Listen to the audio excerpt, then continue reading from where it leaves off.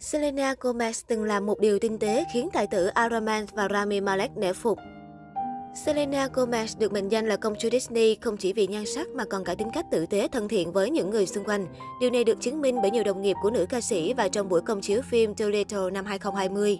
Mỹ nhân 29 tuổi trở thành tâm điểm chú ý trên thảm đỏ nhờ nhan sắc sạng ngời và nụ cười tươi tắn sáng bừng cả khung hình. Tuy nhiên, hành động của Selena Gomez ở cuối sự kiện mới là điều khiến netizen chú ý hơn cả. Khi cả dàn sao cùng chụp tấm ảnh tập thể, những người đứng ngoài cùng không thể lọt vào khung hình vì không gian chật hẹp. Ngay khi phát hiện ra sự bất tiện này, Selena đã nhanh chóng tiến lên và ngồi thấp xuống sàn để phóng viên có thể chụp đầy đủ cả dàn diễn viên. Một hành động nhỏ cũng cho thấy cô nàng rất tinh tế và quan tâm tới đồng nghiệp. Trước hành động cực dễ thương của Selena, tài tử Iron Robert Downey Jr. và Rami Malek cũng quỳ xuống bên cạnh bạn cô và cười vui vẻ. Hai nam diễn viên cũng được khen vì sự tinh ý và ga lăng khi không để đồng nghiệp nữ quỳ một mình. Chi tiết này càng giúp cho thảm đỏ này của Selena Gomez trở nên ý nghĩa và đáng nhớ. Cách đây không lâu, Selena Gomez đã xuất hiện tại New York, Mỹ để tham gia sự kiện quảng bá cho thương hiệu mỹ phẩm do cô thành lập, Rare Beauty. Mở một gian hàng trưng bày tại quảng trường thời đại Sephora, nữ ca sĩ 29 tuổi thu hút sự chú ý của đông đảo khán giả và giới truyền thông. Thay vì lên đồ chặt chém như mọi lần, Selena chọn trang phục khá đơn giản nhưng vẫn nổi bật bật trong khung hình.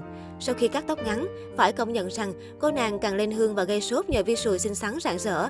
Gương mặt tràn trịa hậu tăng cân càng khiến vẻ ngoài của giọng ca Lose You To Love Me trở nên tươi tắn ngọt ngào.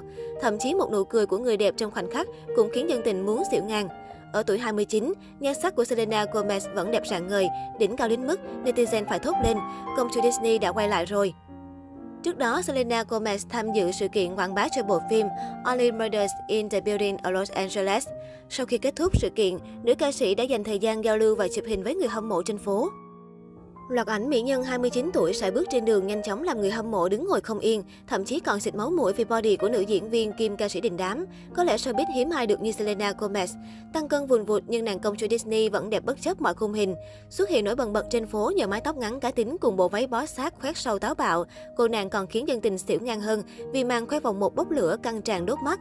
Đáng nói, ở những hình ảnh chụp gần, giọng ca Common Goddess khiến người hâm mộ phải choáng váng vì đôi gò bồng đảo căng tràn bốc lửa vừa tầm ngày nào giờ đã thành ngoại cỡ. Dù lộ khuyết điểm vòng hai mũm mỉm, nhưng Selena gương mặt trông xinh đẹp, không tuổi cùng vòng một siêu khủng này đã giúp cô nàng được khen hết lời. Giờ đây, công chúa Disney ngày càng táo bạo và nóng bỏng hơn, không ngại lên đồ khoe vóc dáng hậu tăng cân. Về chuyện đời tư, dạo gần đây nhiều tài khoản Twitter bất ngờ đăng tải hàng loạt minh chứng cho thấy Selena Gomez và nam tài tử đình đám Chris Evans đang hẹn hò. Thông tin này khiến cả mạng xã hội gần như nổ tung, còn netizen thì vô cùng mong chờ và phấn khích. Tin đồn hẹn hò bắt đầu nổ ra sau khi tài tử Captain America nhấn nút follow nữ ca sĩ kém 11 tuổi trên Instagram.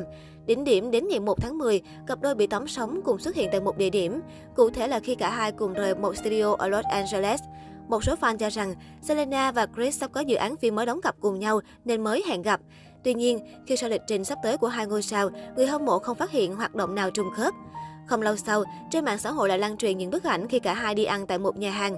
Hàng loạt hin đáng ngờ từ follow nhau trên Instagram đến việc đi ăn cùng nhau và cuộc gặp gỡ ở studio đang được cư dân mạng chia sẻ rầm rộ.